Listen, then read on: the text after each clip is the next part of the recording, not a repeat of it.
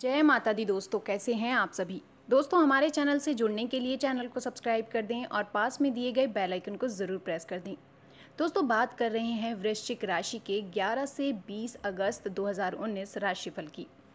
दोस्तों, इस दौरान चंद्रमा आपकी राशि के दूसरे भाव में रहेगा और गुरु के गोचर से आपको राजसी सफलता हासिल होगी। व्यापार और नौकरी दोनों में आप आगे रहेंगे, कारोबार में वृद्धि होगी। मित्रों से पूरा सहयोग मिलेगा धर्म, कर्म के कार्यों को संपन्न करने का मौका मिलेगा। कार्य में नई ज़िम्मेदारी भी आपको मिल सकती है। पारिवारिक पक्ष मज़बूत होगा। व्यापार की बात करें तो व्यापार में सौदों और उधार की राशि के लेन देन में आपको सावधानी बरतनी होगी। आपको लाभ के अवसर ज़रूर मिलेंगे व्यापार में।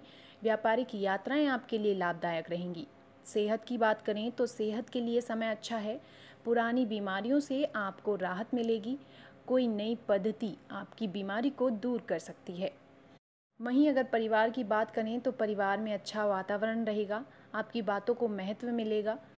आपके परिवार वाले, आपके परिजन आपकी योजनाओं में आपका सहयोग देंगे, दोस्तों से मुलाकात हो सकती है। दाम्पत्य जीवन की बात करें तो जीवन साथी से प्रेम बढ़ेगा, आपसी समझ अच्छी रहेगी, संतान के लिए कोई नई योजना बना सकते हैं।